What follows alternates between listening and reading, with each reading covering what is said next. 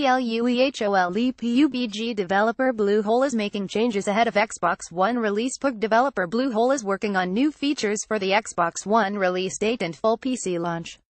In a recent blog post, the Battlegrounds developer said that it was testing new vaulting and climbing abilities.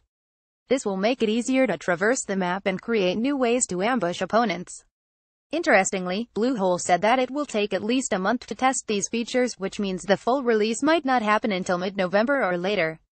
For PC, we will be only focusing on doing our best to stabilize the launch build and we don't have any plans to deploy patches to live servers except for this week, reads a Bluehole blog post.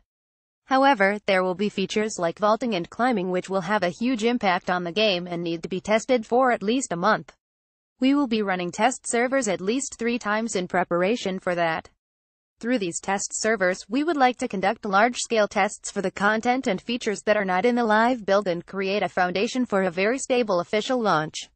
Monday, May 1, 2017 PlayerUnknown's Battlegrounds Bluehole has also been addressing other issues ahead of launch, including handing out bans to cheaters.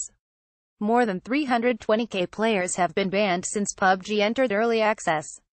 Elsewhere, PUBG was given an MA15 rating in Australia, which is the second strongest classification a game can receive.